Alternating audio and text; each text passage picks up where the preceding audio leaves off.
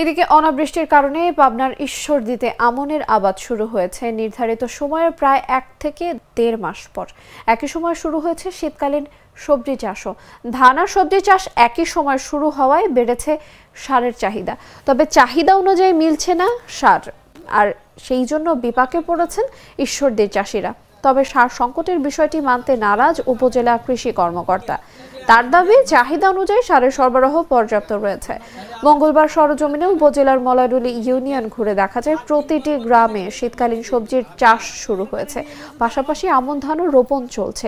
তবে প্রয়োজন অনুযায়ী সার জমিতে দিতে না পারায় ভালো ফলন নিয়ে শঙ্কায় রয়েছে এখানকার কৃষকেরা।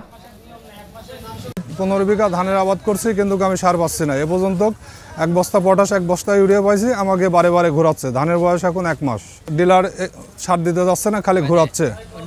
অন্য দোকানে থেকে সার কিনে নেন। একশো টাকা বেশি দিয়ে। এখানে আসছি, সারের সরকারি ডিলারের কাছে আসছি। আমরা সারের জন্য, আমরা কৃষক, আমরা সারের জন্য আসছি এখানে। কিন্তু সার আসে আমরা ঠিকমতো পাই না। আবার সরকার বলতেছে সারের কোনো সংকট নাই। কিন্তু আমরা এখানে আসলে পরে সার পায় না।